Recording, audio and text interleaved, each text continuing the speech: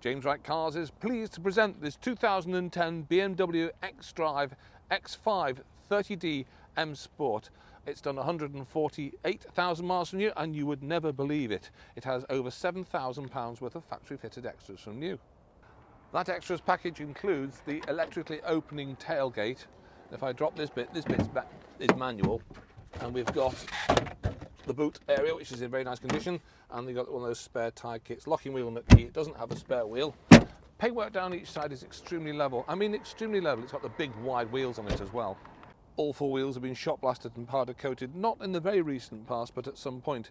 All tyres are very, very good. There are three Michelins and one non-Michelin. This is the near side rear, near side front, offside front, and offside rear.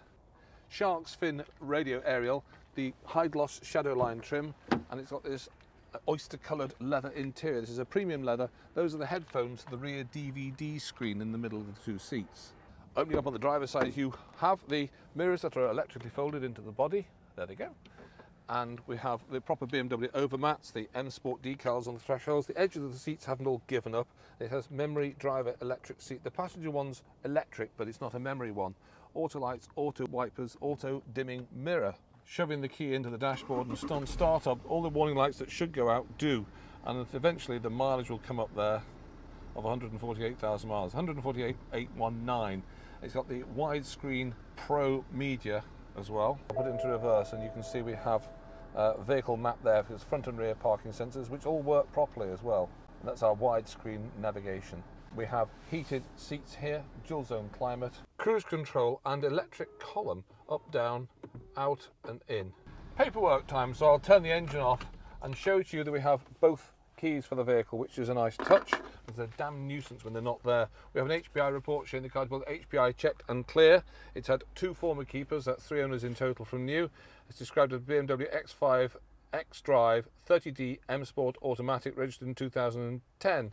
Uh, media package, DVD, uh, the system in the rear, the 20 inch alloy wheels, the hi fi loudspeaker system, the upper tailgate operation is automatic electric, adaptive headlights, sun protection glass, which is privacy glass, heated seats for front and rear, and on the back there we've got the rear view folding exterior door mirrors automatically dimming, and it's got brushed aluminium insets, deep sea blue metallic, and the deletion of the sports suspension, so the thing rides like a normal car rather than a rattle trap and it also has a Nevada leather in oyster coloured. That little lot, in addition to the standard car, was £7,355. So the whole car was £54,500 new. We have uh, an old MOT there.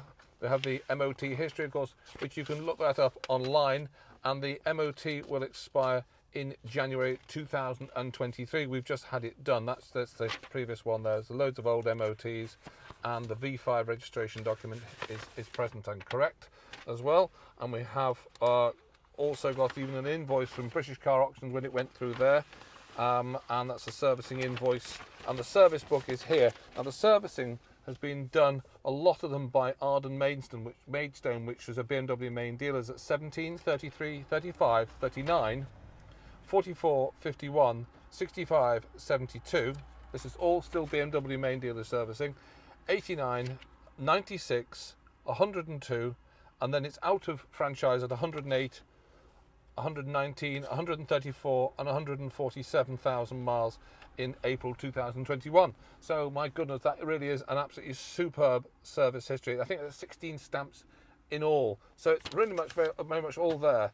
It drives beautifully well, but let me just prove that to you. Let's go up for a little drive.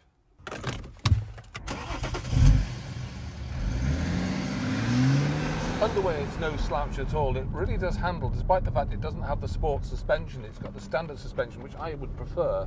But put my foot down and, well, it's away. That's not slow. That really does pick its skirts up and goes.